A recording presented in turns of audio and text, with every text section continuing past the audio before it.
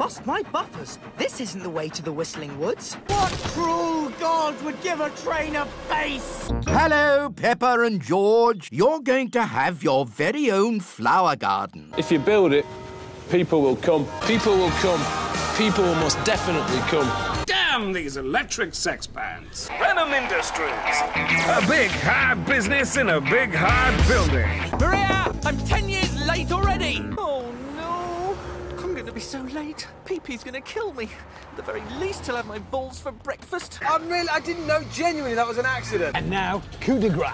Oh, yes, I should. But I haven't quite worked out how to find one. Well, I thought I would probably just sleep over there in that bin.